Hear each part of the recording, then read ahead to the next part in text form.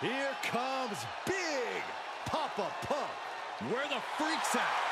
The following contest is scheduled for one fall.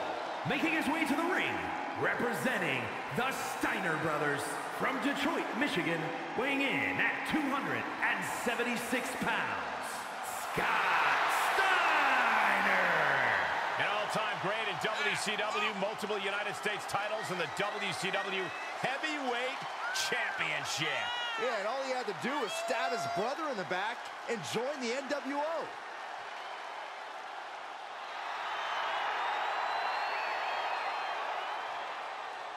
Come on, let's go!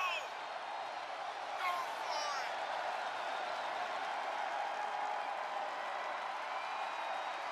it! The cerebral assassin can turn your emotions against you.